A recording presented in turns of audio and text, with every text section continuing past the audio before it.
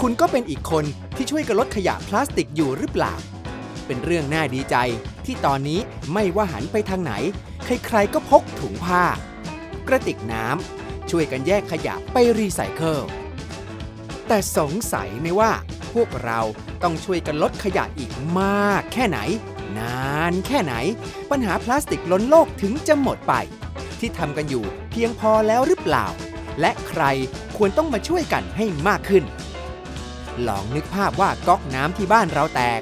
น้ำพุ่งเต็มพื้น แต่เราทำเพียงแค่เช็ดน้ำแต่ไม่ไปปิดวาล์วที่ต้นทาง คงไม่มีวันที่น้ำจะแห้ง ปัญหาพลาสติกก็เช่นกัน ต่อให้เราทุกคนช่วยกันรีไซเคิลแค่ไหน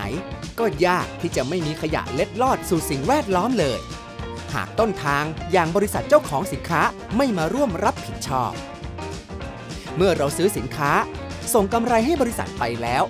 มันยุติธรรมแล้วเหรอ ที่ภาระกำจัดขยะต้องตกมาอยู่กับพวกเรา ต้องช่วยกันรีไซเคิลต้องจ่ายภาษีมาจัดเก็บขยะ แต่บริษัทกลับได้กำไร แบบไม่ต้องรับผิดชอบอะไรเลย ทั้งๆที่เขาเป็นคนสร้างขยะชิ้นนี้ขึ้นมา และขยะก็ไม่ใช่มลพิษเดียวที่พลาสติกสร้างให้โลกใบนี้ ย้อนกลับไปตั้งแต่น้ำมันถูกขุดขึ้นมา กลั่นเป็นเม็ดพลาสติก ปั๊มเป็นขวด ขนส่งไปโรงงาน กระจายไปตามร้าน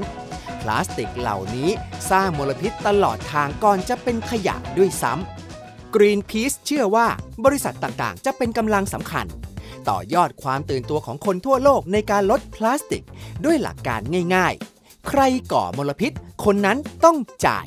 นั่นหมายถึงประเทศไทยต้องมีการขยายความรับผิดชอบของผู้ผลิต หรือ Extended Producer Responsibility หรือ EPR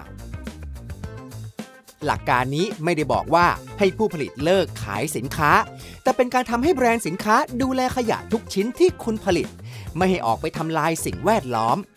หลักการ EPR นี้ส่งเสริมแบรนด์ต่างๆ ว่าทำได้มากกว่าแค่กิจกรรม CSR ชวนไปเก็บขยะที่ปลายทางเท่านั้น แต่ต้องมีวิธีการที่รอบด้าน ตั้งแต่การออกแบบ กระจายสินค้า กระบวนการจัดเก็บ พื่อช่วยลดปัญหาตั้งแต่ต้นทาง ไม่โยนภาระดูแลขยะให้ลูกค้าของคุณ เช่น การออกแบบ บริษัทผลิตเครื่องดื่ม สามารถออกแบบขวดไร้ฉลาก โดยใช้ลายนูนแทน ซึ่งช่วยลดพลาสติกจากฉลาก ซึ่งเป็นขยะที่ไม่สามารถรีไซเคิลลงได้มาก การกระจายสินค้า บริษัทผู้ผลิตเครื่องดื่ม ใช้ขวดแบบใช้ซ้ำส่งให้แก่ลูกค้า เมื่อดื่มเสร็จแล้ว พนักงานจะรับไปทำความสะอาด แล้วเอาขวดกลับมาให้ ซึ่งไม่สร้างขยะเพิ่มเติมแม้แต่ชิ้นเดียว หรือตัวอย่างที่ประเทศเราคุ้นเคย เช่น น้ำดื่มขวดแก้วตามร้านอาหาร ที่บริษัทจะมารับคืนเพื่อใช้ซ้ำ ซูเปอร์มาร์เก็ตบางแห่ง เริ่มขายสินค้าแบบ refill ให้ลูกค้า เอาขวดเอากล่องมาใส่เองได้ นอกจากลดขยะแล้ว ยังให้คนซื้อได้จ่ายเฉพาะค่าของที่ใช้จริง ๆ ไม่ต้องจ่ายค่าหีบห่ออีกด้วย การจัดเก็บ มีระบบเรียกคืน ตั้งจุดรับคืนบรรจุภัณฑ์หรือ drop off point ตามแหล่งชุมชนที่หลากหลายและทั่วถึง เช่น ผู้ผลิตเครื่องดื่ม มีจุดรับคืนบรรจุภัณฑ์ของตนเองตามห้างสรรพสินค้า หลักการ EPR เกิดขึ้นแล้วในหลายประเทศ ถึงเวลาที่ภาครัฐต้องออกกฎหมายที่ระบุให้ผู้ผลิตรับผิดชอบในการดูแลขยะของบริษัทตนเอง หมดเวลาที่บริษัทต่างๆ จะเชิญชวนให้ผู้ซื้อต้องรับผิดชอบต่อขยะเพียงฝ่ายเดียว แต่ถึงเวลาที่บริษัทจะต้องร่วมลดขยะไปด้วยกัน ผ่านเครื่องมือต่างๆ ที่บริษัทมีครบทุกด้าน